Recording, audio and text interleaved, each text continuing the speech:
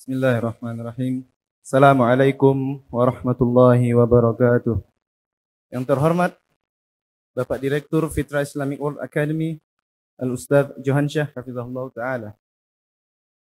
Yang terhormat Bapak Kepala Yayasan Fitra Islamic World Academy Al-Ustaz Khairuddin Ahmad Syukri Hafizahullah Ta'ala.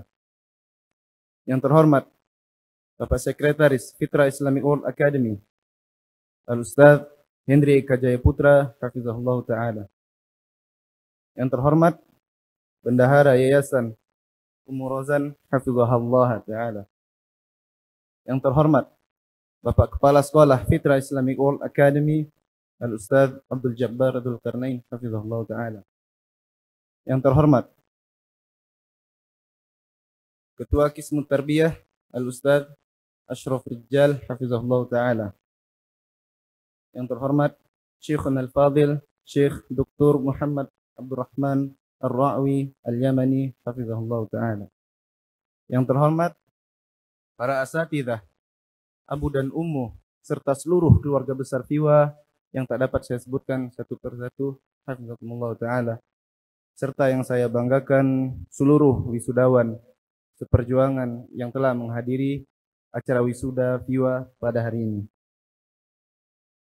Pertama-tama, saya berterima kasih kepada panitia karena telah memberi saya kesempatan untuk menyampaikan kesan dan pesan selama berada di Viwa.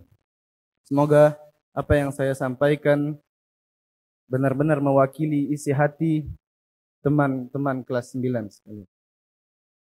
Selanjutnya, saya bersyukur kepada Allah Subhanahu wa taala karena taufiknya kita telah sampai pada titik ini, yaitu lulus dari jenjang SMP. Kemudian kepada seluruh asatidah, kami mengucapkan terima kasih atas ilmu yang telah antum berikan ketika kami menuntut ilmu di sini. Sungguh tak ternilai apa yang telah antum berikan.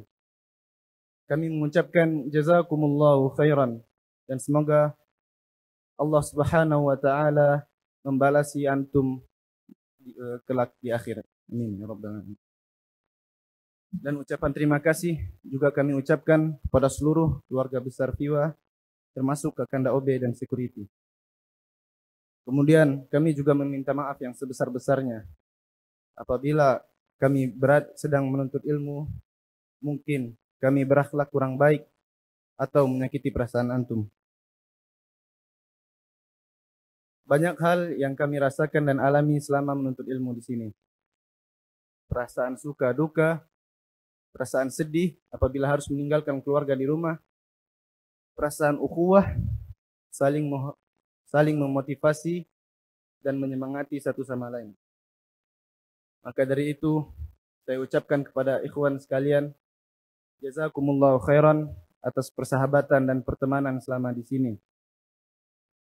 Dan juga saya meminta maaf kepada ikhwan apabila ketika kita berkomunikasi tentu tidak luput dari yang namanya khilaf dan kesalahan.